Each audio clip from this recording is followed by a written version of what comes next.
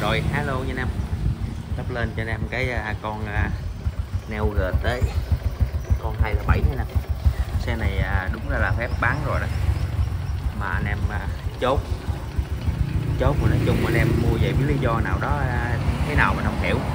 Nhưng mà đem đi thầy thợ nào đó rồi nói à, xe rớt đầu rồi à, bắt đầu không phải nó rớt đầu bắt đầu à, ngang trường báo là trả lại. Đợi đầu quay đầu thì ok quay đầu thì à, nguyên tắc thì à, phải sửa lỗ thôi. À, tại vì à, xe mua cũng 20 ngày tháng vậy đây. À, rồi xong rồi nói nghe ngang trường báo lại là nói nói chung là làm việc với trường. Thì nói rớt đầu. Thì con này em kiểm tra là bao anh em nha. Con không có rớt gì hết máy đang nổ anh em nha. Cực kỳ cái máy vậy. thậm chí nó còn dơ này xe này chưa từng rửa luôn dơ gì là chưa rửa luôn. Cái này là bị ổng rửa nè. Ổng lên à, ông ổng với thợ lên cái ổng à, có thể là rửa ra chụp xe này à, có cam chưa thấy chỉnh nữa nè. Máy chắc lắm.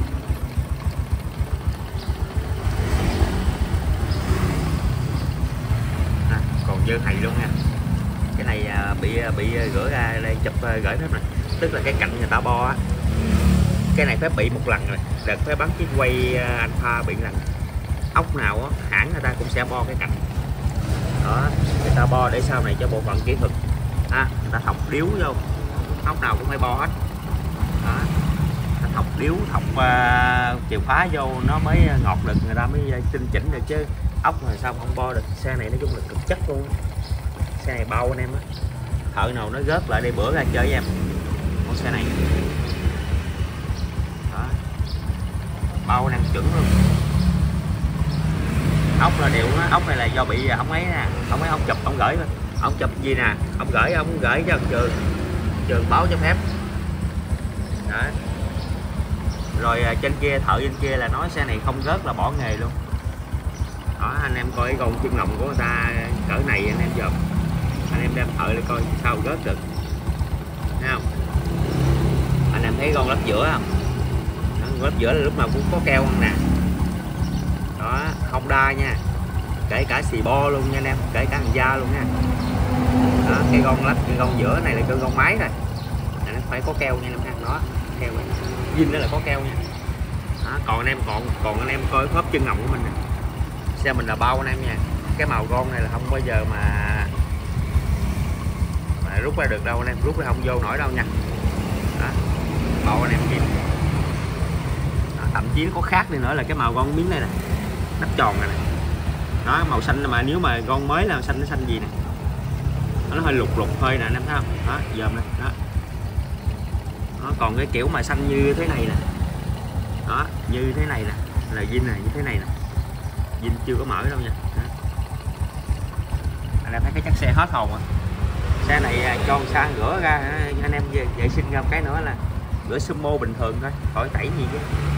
Sumo pha lon lỏn ra rửa là cực kỳ đẹp. Đó. xe không có gớt gì hết trơn á nha anh em. Thì à, phép kêu bây giờ cứ mà đem về em kiểm tra thôi. Đó ví dụ như xe mà bên em sai về phần kỹ thuật thì em sẽ chuyển khoản đủ hết cả cái ờ, phí vận chuyển ờ, à, tiền xe em chuyển đủ hết.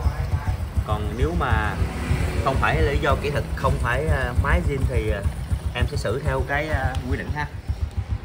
Đâu đó rõ ràng xe này là bao em nha. Em up clip đăng lên trên YouTube. Cho anh em coi gọi anh em thầy thợ anh em chơi xe khắp cả nước mình coi. Đó, bao anh em chiếc xe zin. Đó con chân lòng em dòm ha bao ghi nha.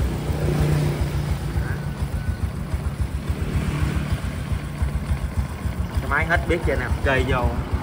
Nổ. Em bắt trường à, bắt trường uh, ra.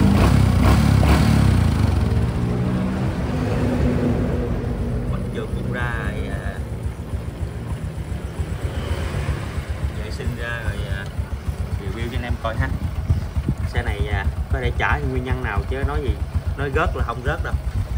Bao anh em từng chi tiết luôn.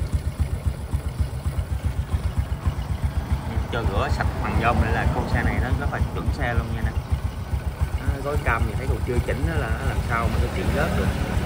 Ha, anh em dòm. Đó. Xe này như có quay rồi à clip rồi, anh em mới chốt.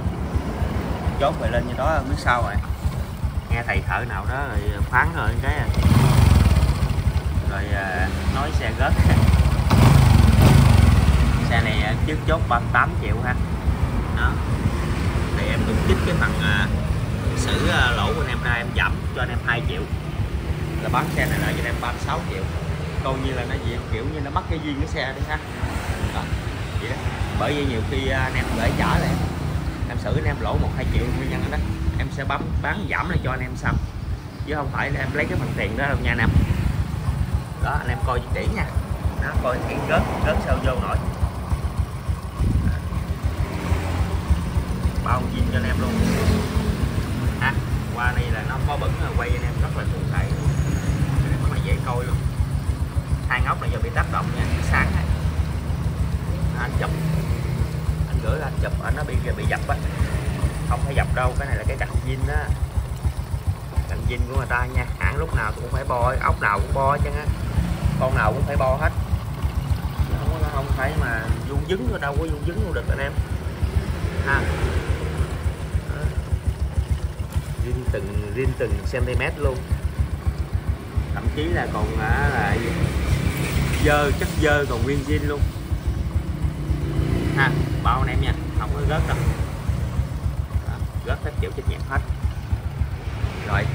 Anh em nào chốt giảm là 2 triệu còn 36 triệu cho anh em đến sau. Coi như bù vô khoản mất duyên của xe của em.